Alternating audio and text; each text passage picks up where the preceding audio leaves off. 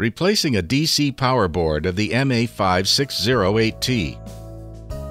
Record the cable connections and switch off the input circuit breaker that controls the power board to be replaced in the PDU. Loosen the screws on the cables and remove the cables.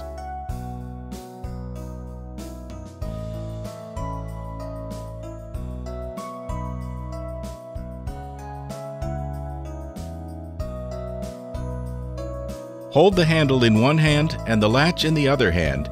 Smoothly pull out the power board along the slot and dispose of the power board according to the specification. Please pay attention to these items.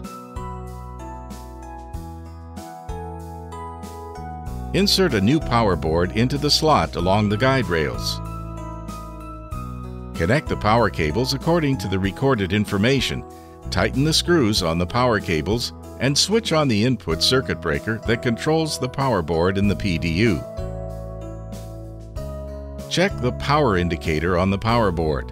If the indicator is steady green, the power board is running properly.